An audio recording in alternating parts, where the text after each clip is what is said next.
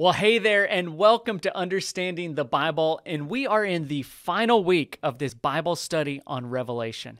And in this week, we are looking at the last part of Revelation, chapter 21 and 22. This is the final study with me, and we're going to be exploring the beginning of this section, looking at Revelation 21, just reading it through fresh and seeing what we see the kind of the challenge for this passage has been to um, explore how literal or symbolic this chapter is. So we're going to be looking at that in particular as we read through it today. So grab your Bible and let's dive in. All right, well, here we are in Revelation 21, and let's start reading. Oh, darn it, I forgot my coffee. I'll be right back. All right, I'm back. Hot. All right, let's get started. Revelation 21. Then I saw a new heaven and a new earth. For the first heaven and the first. See, I knew that. I needed that coffee. For the first heaven and the first earth passed away, and there is no longer any sea. All right, so so far so clear. He's seen a vision of the of a new heaven and a new earth. He's seen that the um, old heaven and earth has passed away.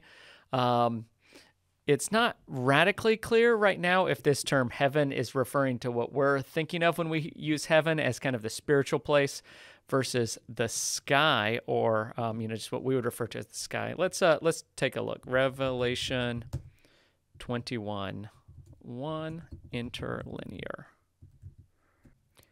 All right, and so here we have the word heaven and it is singular, so not new heavens, but a new heaven or a heaven as it's described here.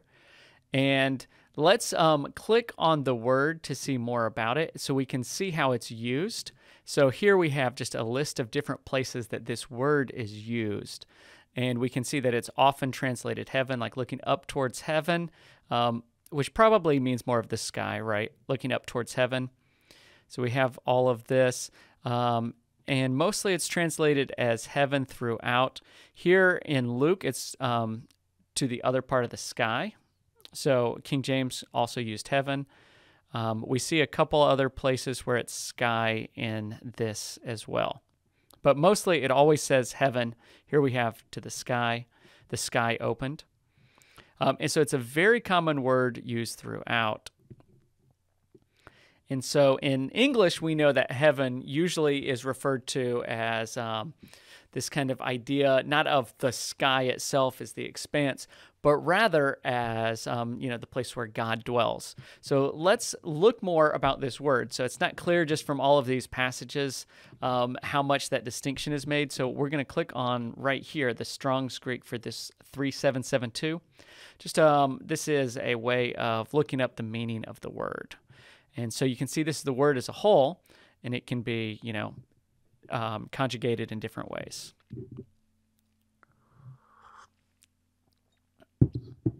And so this page is going to tell us information about the about the word. In this case, it's a noun, which we translate as heaven, right?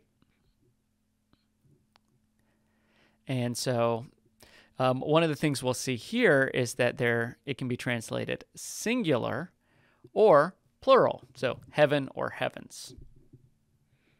And let's come down and look at the definition here. So this is just a lexicon. It's kind of like a definition of, um, of Greek words in this case, um, Greek or Hebrew in biblical studies. And so we've got, um, it's coming from this idea of covering or encompassing. And it means, it's described as the heavens, um, heaven, and the heights, the upper region. So it's the vaulted expanse of the sky with all the things visible in it. And if you look at it, this, this makes sense, right? So you have earth and then the sky and stuff around it. So if God is recreating the world, making a new world, he's making a new earth and heaven, right? The, the, the physical land where we are and the sky above us. So it's all of the world, is what this is saying. All right, so when we look at that and we read this, I saw a new heaven and a new earth. Um, we should probably be reading that as um, that God is just making the whole world, you know, the part that we can live on and the part that we can see above us. And then it's also adding a reference to the sea here a new heaven and a new earth. The first heaven and earth passed away, and there's no longer any sea. And this is a bit of a cryptic thing. So it's like in the vision, what he's seeing is um, is just earth without the sea. What what exactly does that mean? Um, I don't know. I'm actually just going to highlight it in red and move on that does seem like it would be interesting to see what people think of that. Why, why is there no longer any sea? And I saw the holy city, New Jerusalem. And we've uh, read about Jerusalem some so far. So the new city coming down out of the heaven, so out of the sky from God, prepared as a bride adorned for her husband. So the most cryptic thing here is how does a city look like it's prepared as a bride for the husband. I'm not sure what that would visually look like, um, but we, we understand the picture, right? This picture of Jerusalem, the city coming down from the sky to earth in, in splendor, maybe in purity, um, um, that just the, the, the majestic nature. And I heard a loud voice from the throne saying, Behold, the tabernacle of God is among the people, and he will dwell among them, and they shall be his people and God Himself will be among them. And He will wipe away every tear from their eyes, and there will no longer be any death. There will no longer be any mourning or crying or pain. The first things have passed away.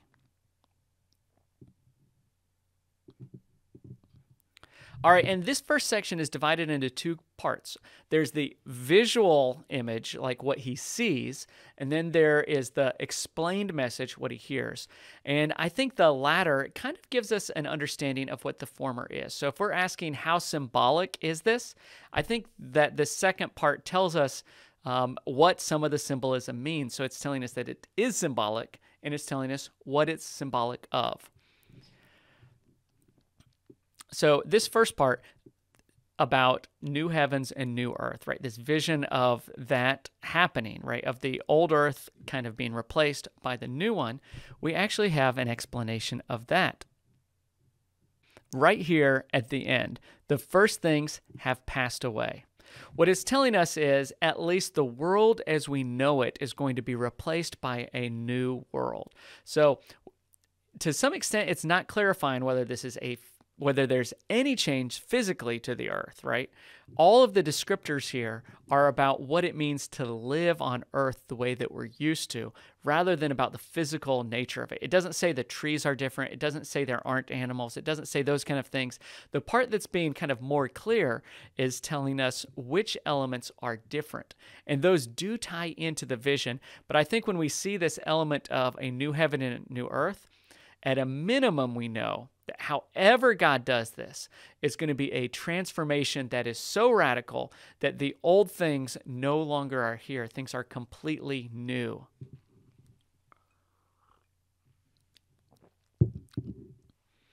And within this first vision, we have this idea of the holy city, a new Jerusalem, coming down. Right? And so, what does that mean? What does it mean that we have this vision of a new Jerusalem? I think as we literalize this, we think, okay, there's God's going to make a new city and it's going to be called Jerusalem. And that's clearly not the idea that's happening. Now, could that be the method? Sure, that could also be the case. But what is being clarified here is not anything about a city. What's being clarified is the meaning of Jerusalem. And look how it's explained. Behold, the tabernacle of God. Now, Jerusalem and the tabernacle are different things. So when you think about them literally, they are physically not the same. However, they are the same when you look at their meaning. Both the tabernacle and Jerusalem are kind of seen as dwelling places of God. That as you looked at Jerusalem, the capital of Israel, the place where the temple was, that this is the place you would go up to to meet and experience God as He was dwelling among you in a special way. There is symbolism in this for sure in both the tabernacle and in Jerusalem. Even in the Old Testament, it was very clear to everyone that God could not be contained in these small areas, that God was infinite, that God was everywhere. And yet, these symbols, these places, were powerful reminders that God gave to the people of Israel so that they would have an easier time experiencing, understanding, and even talking about the infinite God.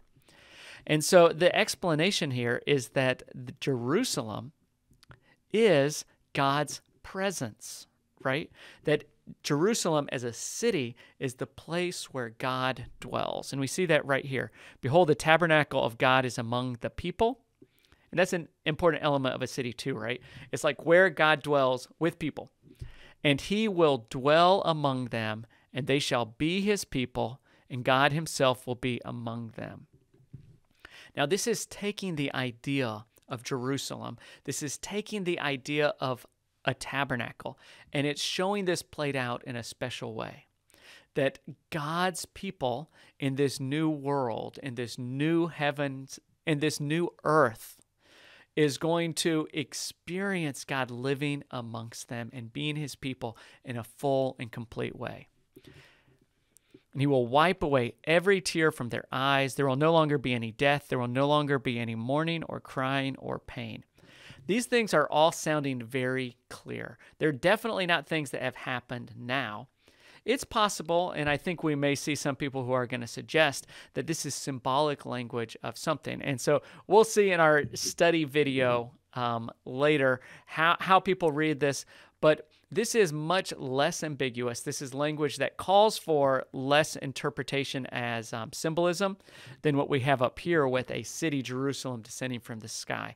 This is pretty clear language as far as Revelation goes, that's quite straightforward. It's describing a reality where there is not pain, there's not death, and that God is living amongst his people.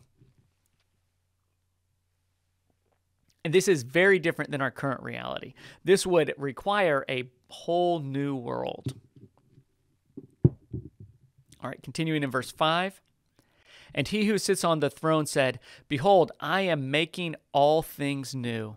And he said, Write for th- write for these words are faithful and true. Then he said to me, It is done. I am the Alpha and the Omega, the beginning and the end. I will give water to the one who thirsts from the spring of the water of life without cost. The one who overcomes will inherit these things. Let's look at this. The one who overcomes will inherit these things. I think this is helpful in kind of telling us the meaning as well, right? This is, even if you're reading Revelation from a preterist point of view, describing most of the events and the kind of the prophetic elements being things that have already been completed, already happened in the past. So, first century audience being told to endure persecution.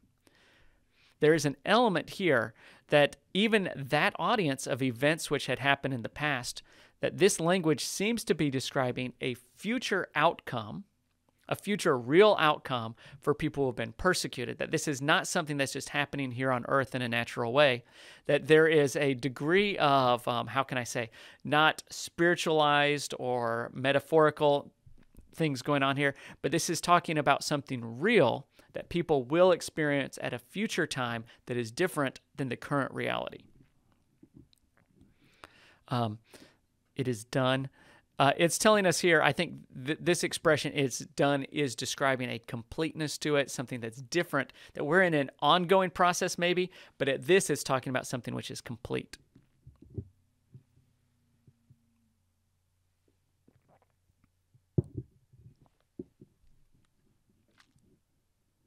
So, the one who overcomes will inherit these things, and I will be his God, and he will be my son.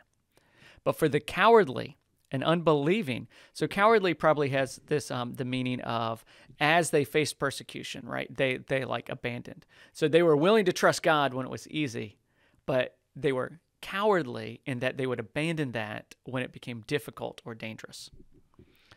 So it's not referring to a general cowardice like you're you're afraid of skydiving or something. But for the cowardly and unbelieving and abominable, what what is this? Abominable? Um, let's see what a different translation says. Um, English Standard Version. Come on, I wanted something easier. Let's. Where where is this abominable? So verse eight, for the cowardly, faithless. The, they've translated this a little different. Faithless instead of unbelieving. The detestable. Okay. So abominable, detestable. Let's try one more translation. New International Version. Perfect. So let's go down to verse 8. But for the cowardly, the unbelieving, oh, look at this. The NIV and the New American Standard Bible are matching up. The vile. All right, so we have three different English words that are all trying to capture this one idea abominable, which I think is the coolest, but sounds too much like a snowman. Um, the detestable, which is a great word, and the vile, which I think we get the meaning, right? The people who are living immoral, um, really like lives that you would look down on as being inappropriate and wrong. But for the cowardly and unbelieving and abominable, and murderers and sexually immoral persons and sorcerers and idolaters and all liars, their part will be in the lake that burns with fire and brimstone, which is the second death. And so we've seen some of this already in the judgment. And so this is referencing back to this and it's contrasting in this new world that God is creating. It is a world that is created for those who have faith in God. That the way that you are part of this new world is through faith in God. And by contrast, here, we have this picture um, of those who have abandoned God, who have chosen not to have faith in God, like they've gone the other direction.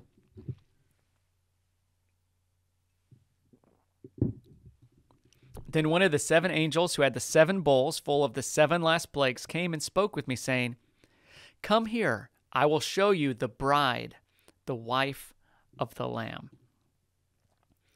Here, um, we, we obviously have the Lamb is a symbolic reference to Jesus. Um, and I think similarly, we can be pretty clear that the bride, the wife, is also a richly symbolic meaning. And um, we know from previously in Revelation that this is going to be the New Jerusalem, which he's just seeing come down. And he carried me away in the Spirit to a great and high mountain and showed me the holy city Jerusalem coming down out of heaven from God, having the glory of God. Her brilliance was like, and I think this may explain, and this is again like a, it's re saying the thing we've already heard. It's describing the event that we read in the first few verses a second time. Her brilliance was like a very valuable stone, like a stone of crystal clear jasper. It had a great and high wall with 12 gates, and the gates 12 angels, and the names were written on the gates, which are the names of the 12 tribes of the son of Israel. Now we're having more description of the city itself, and these are pretty richly symbolic um, in their meaning. There were three gates on the east, and three gates on the north, three gates on the south, three gates on the west. And the wall of the city had 12 foundation stones, and on them were the 12 names of the 12 apostles of the Lamb. Earlier in Revelation, we talked about the 24 elders, and we have an interesting kind of um, way of referencing back to that right now. We have two sets of 12. This first set of 12 is about the tribes of Israel. The second set of 12 is about the 12 apostles of Jesus. And it's likely that this is indicating what John would have meant or what um, God would have revealed with the idea of 12 elders. And that is this picture, and we're seeing it throughout Revelation, that there are references to Israel and Judaism that seem to be linked very closely with the Christian church that in the eyes of John and then the eyes of God who is revealing this, that the church and Israel are deeply connected, and that you can talk about Israel at this stage in history synonymously with the church, right? That the church is the true Israel. The church is the true people of God. And that this has expanded from its kind of ethnic meaning in the Old Testament to a new meaning in the New Testament. And you see that right here that Jerusalem is made up of the New Testament apostles as well as the Old Testament tribes of Israel. The one who spoke with me had a gold measuring rod to measure the city, its gates, and its walls. All right, so we're seeing another reference here to measuring. We've seen this earlier in Revelation. This time it's a gold measuring rod. The city is laid out as a square, and its length is as great as the width. And he measured the city with the rod, 12,000 stadia. Its length, width, and height are equal. Um, sounds like an element of kind of perfection and completeness that everything is as it should be. He measured its walls 144 cubits by human measurements, which are also angelic measurements. Nice. The material of the wall was jasper, and the city was pure gold, like the clear glass. Um, these sound like richly symbolic, descriptive terms and numbers to me. Um, that he has seen all of this, and it is saying something quite symbolic in its meaning. The foundation of the stones of the city wall were decorated with every kind of precious stone. All right, I started reading these stones. I had no idea how to pronounce most of them. So I went like in Google and I like looked how to pronounce these things. So I'm going to try reading this again. If you're a stone expert, please do not be offended by my pronunciation. The first foundation stone was jasper, the second sapphire. These are not the hard ones. The third, oh, crud, I just forgot how to pronounce it. Chalcedony? Chalcedony? Okay, I'll say it like that. The first foundation stone was jasper, the second sapphire, the third chalcedony, the fourth emerald, the fifth sard- sardonyx, the sixth sardius, the seventh chrysolite, the eighth beryl, the ninth topaz, the tenth chrysoprase, chrysoprase, the eleventh. Oh, I looked these up and I can't remember. J- jacinth, jacinth, jacinth. I do not know how to pronounce any of these.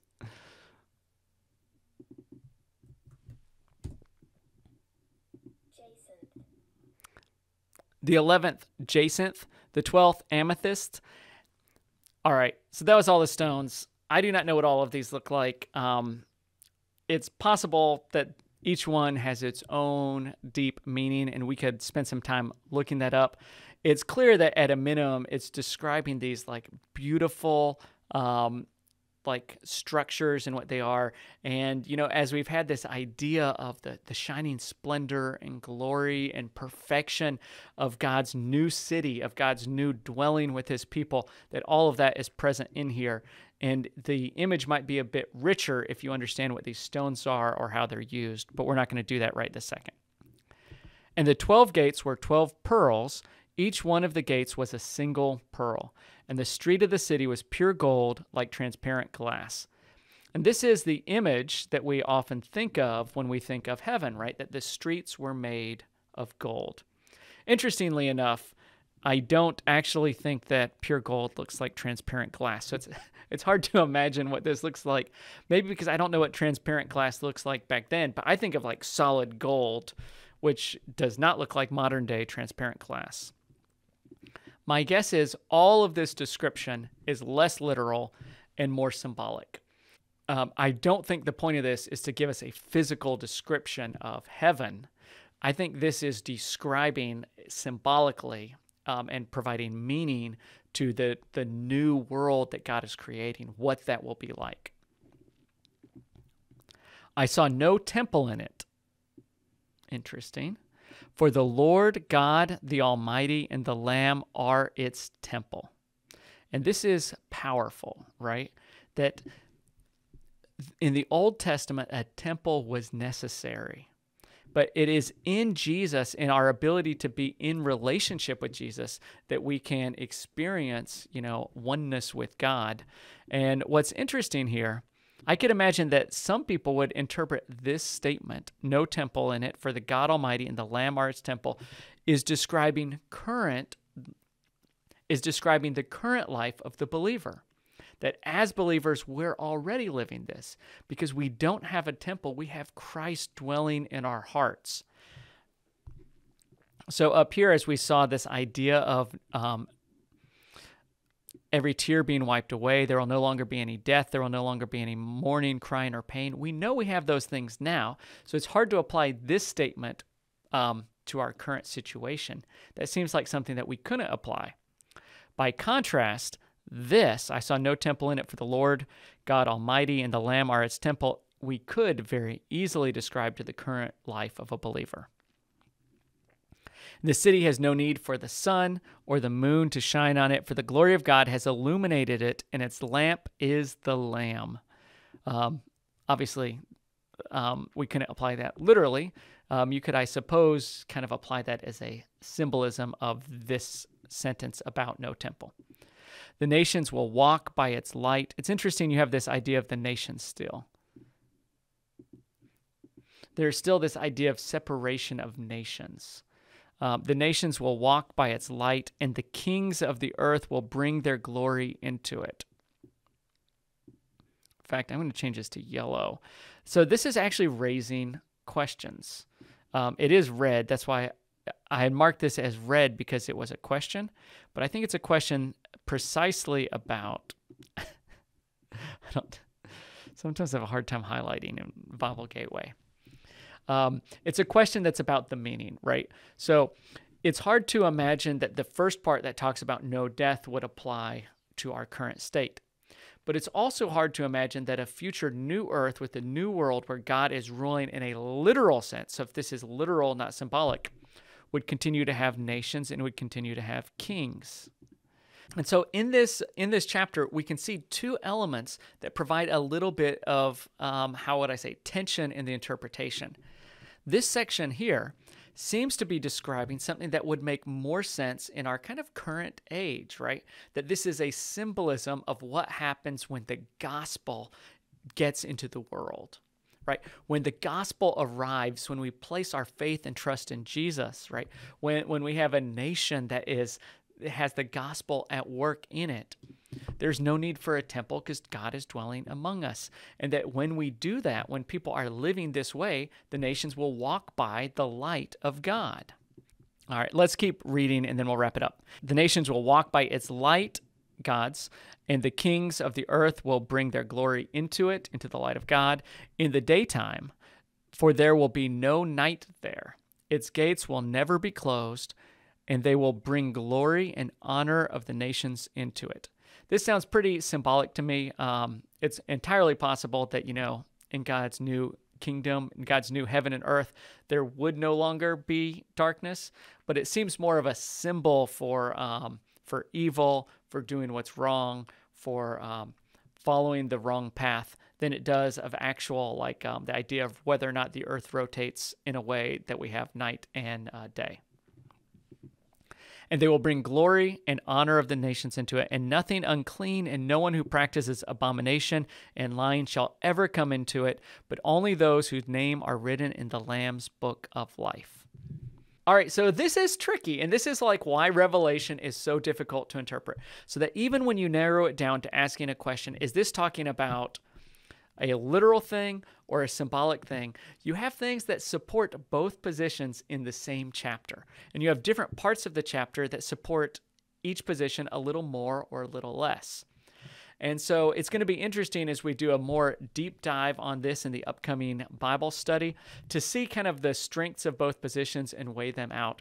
But that, but that is the challenging aspect of Revelation. It's all of the arguments like, so each of the different interpretations is backed up by something.